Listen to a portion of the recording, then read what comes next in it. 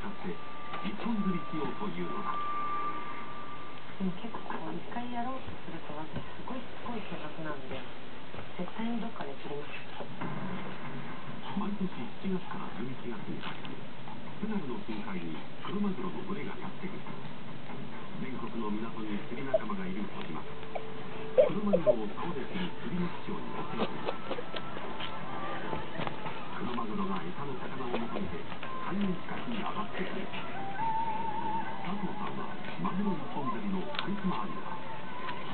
ついては体を海に持っていかれたいう太いリングでフアを固定し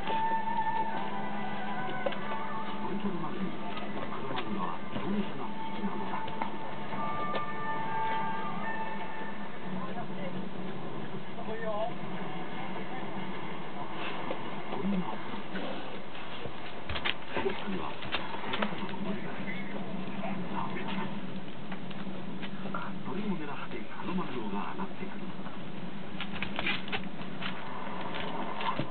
守られなくて曲げる。